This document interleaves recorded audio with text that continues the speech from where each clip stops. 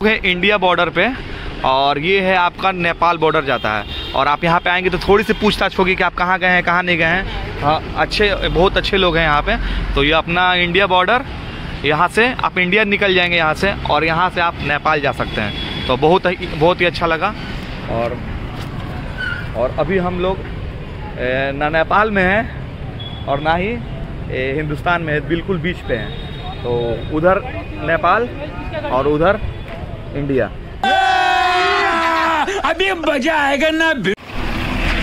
तो अभी हम लोग नेपाल के पोखरा से निकल गए हैं और पोखरा से हम लोग जा रहे हैं कहाँ? सुनौली बॉर्डर। तो सुनौली बॉर्डर जाते हैं और हम लोग का ये ट्रिप मतलब बैक टू होम है। चले एक काम कर दो सौ रुपए दे और पचास रुपए काट ओवर एक्टिंग के वजह सब लोग सुनौली बॉर्डर अगर घर जाएँगे। है ना भैया? तो रास्ते में ये आपको एक अच्छा सा डेस्टिनेशन मिला था।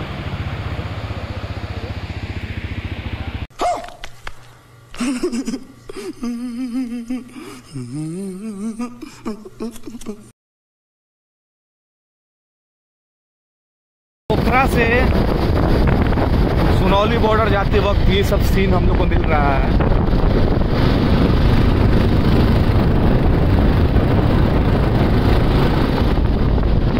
पोखरा से सुनौली काफ़ी अच्छा रोड मिला। यही रोड है लेकिन सही है, है आप आराम से राइड करते हुए इस रोड से सुनौली बॉर्डर जा सकते हैं या सुनौली से पोखरा आ सकते हैं।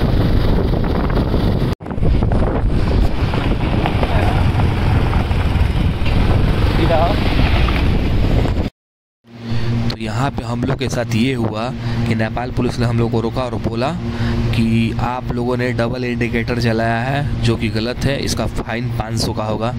तो हम लोगों ने 500 का फाइन दिया।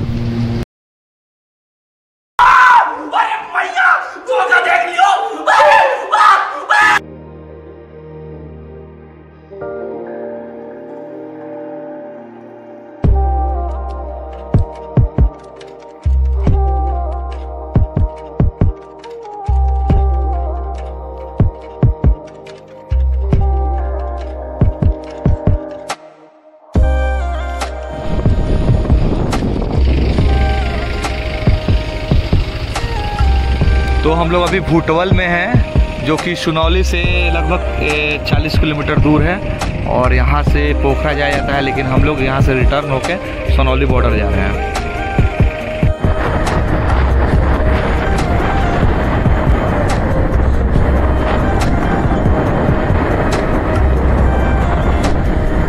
तो अभी हम लोग सोनौली बॉर्डर हैं और इस साइड नेपाल है और उस साइड इंडिया है। तो ये देखिए नेपाल का गेट है और इंडिया का गेट आगे हम दिखाएँगे आपको। तो यहाँ पे नेपाल जाने के लिए फंसार बना, बना, बनता है। नेपाल जाने के लिए फंसार बनता है। और ये देखिए गेट है। कोई दिक्कत नहीं और देखिए वो भारत का गेट दिखाई दे रहा है। लोग नेपाल से भारत माता निकल गए हैं।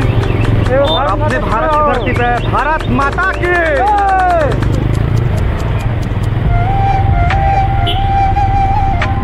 जाम लेके निकल के नहीं जाए